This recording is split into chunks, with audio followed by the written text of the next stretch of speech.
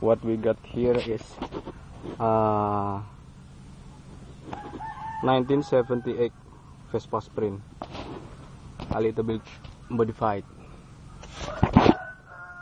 30 millimeter carburation. Reed valve conversion. And 58 piston 58 diameter piston for the ignition we still use the standard ignition with the contract contract breaker. 20 degree before TDC not much what we do